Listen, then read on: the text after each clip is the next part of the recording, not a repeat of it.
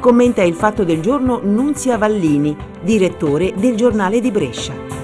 170 anni fa si alza al cielo per la prima volta il canto di Mameli, il canto degli italiani.